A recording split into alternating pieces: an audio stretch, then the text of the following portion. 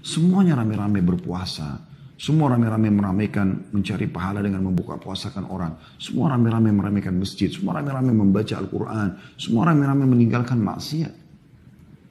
Maka kalau Ramadan saja kita tidak baik, tidak menjadi orang yang lebih baik dari sebelumnya, tidak lebih uh, banyak dari sisi kuantitas dan kualitas ibadah, dan juga tidak meninggalkan atau tidak mengubah sifat-sifat dan karakter buruk kita, serta kemaksiatan kepada Allah, maka kira-kira kapan kita akan jadi baik?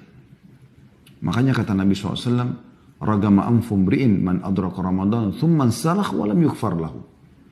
Sungguh terhina seseorang itu yang dia sampai pada Ramadan, lalu Ramadan itu pergi, sementara dia belum diampuni.